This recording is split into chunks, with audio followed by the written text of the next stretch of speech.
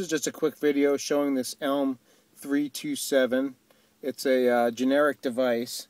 This one was purchased on Amazon. Um, and you can see the red light is on when you plug it in. Um, this is a Camry Hybrid 2008. And let me turn this light off here so you can see the device better. So I'm connecting this to a Nexus 7. Here you can see the Nexus 7. And, um, sorry about that, dropped it. It's hard holding all this stuff up. Anyway, here's the Nexus 7.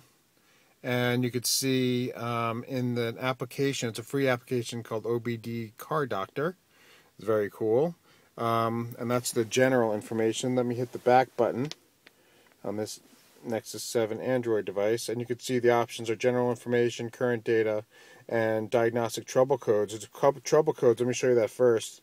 If you need to clear uh, a trouble code, um, in this case it's not showing any, but there's a button on the bottom that would let you clear it. I'm not going to do that right now, but you could clear it if you wanted to. Um, this will show you the current data. So click on current data, and you could see here's all the different things that you could report on using uh, the OBD, OBD2 device. And I'll just click on one of them to show you. Pretty cool. It'll show you the throttle position, which is kind of weird on a hybrid, but it also shows you the um, engine load values, is how much uh, drain you're putting on your engine. The engine coolant temperature, let me, oops, that's showing us the short-term fuel trim bank 1, which we don't really care much about the engine coolant temperature.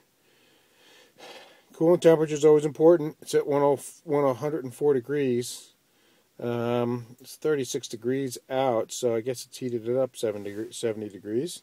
Pretty cool. Um, if you're having trouble with your engine temperature, I guess it would help diagnose that problem. Um, all kinds of stuff. The engine speed right now is at zero. See, yeah, it knows it's at zero. Let me see if I can start the engine going. Again, I'm stepping on the gas pedal. And, oh, vehicle speed. There's no speed because I'm not moving anywhere because I don't want to drive and do this at the same time. But you get the idea. Um, there's other apps too. Um, I just like this one because it's free. There's another app that a lot of people use um, called Torque, and there's a free version of Torque um, uh, as well. Let me show you that one. Yeah, that's another video. I'll just show you the icon for it. Uh, there it is, torque free.